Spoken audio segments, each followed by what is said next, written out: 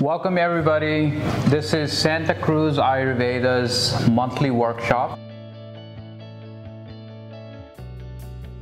It's actually about developing positive habits for a happier life. Specifically what we're going to cover today is the science of rewiring your brain and five Ayurvedic secrets to get you there faster.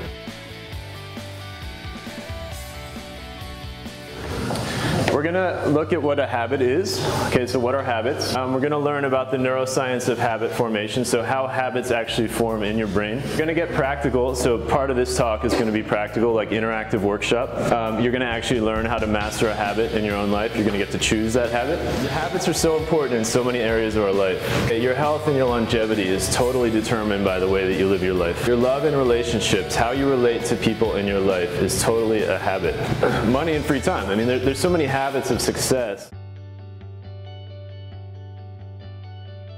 Habit is, it's a learned behavior initiated by a trigger and reinforced by a reward that has become, become nearly automatic.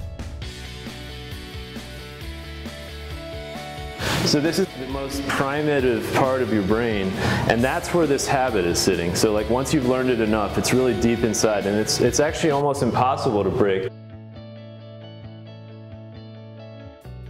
Than you did before. There's four components to habits. Um, obviously, you know, there's, there's a learned behavior, there's a trigger, there's a reward, and there's also making that automatic. Is how do we integrate new habits?